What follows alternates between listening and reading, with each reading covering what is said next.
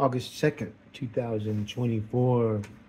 Durango Dank here, aka Marcus Giovanni. You know, I write music that relaxes me. I saw and I build music libraries. I'm not looking to be a star. Those days are over a long time ago, folks. A long time ago. Now, my mission, along with now, I'm teaching other investigators, law enforcement, other law firms that cannot believe what Gen AI truly is. Not what Adriana Gibson, Adrian, Adrena, Adrena, I don't, why don't they have freaking names people can pronounce? But I'm retarded. But this chick here, she is so overrated. And what they do is, see how they mix the words? Well, what they don't understand is I got a letter from the city attorney's office giving me the riot act in regards to using city and county of Denver. And they tried and uh, they tried to uh, manipulate things like we were stupid. And so I had to answer it. And they're corrupt. and what they're doing is that, you know how they want to pack the courts and they don't like something, they, they go change the law.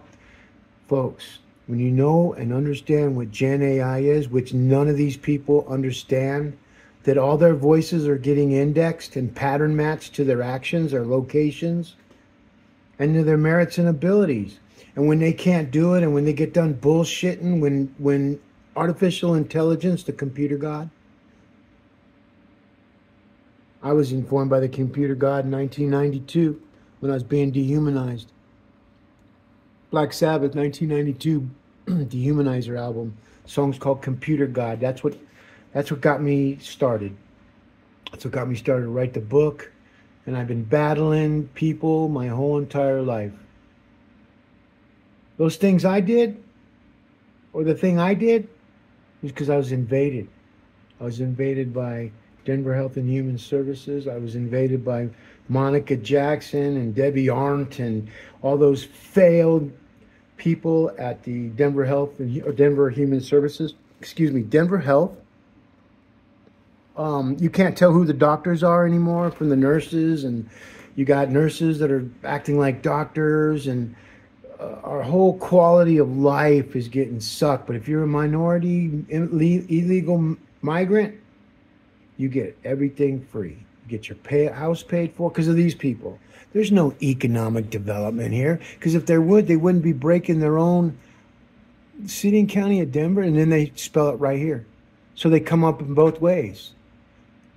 We're gonna. I mean, every that's that's the worst CEO you can do, and she's the chief officer of what? And when you Google search their lives and you'd use some organic, they haven't done nothing in their life except go to school, kiss ass, and get appointed because of whatever idiosyncrasies that they have that they would never get a job anywhere else. So they come up with this delusional um, DEI, delusional, eccentric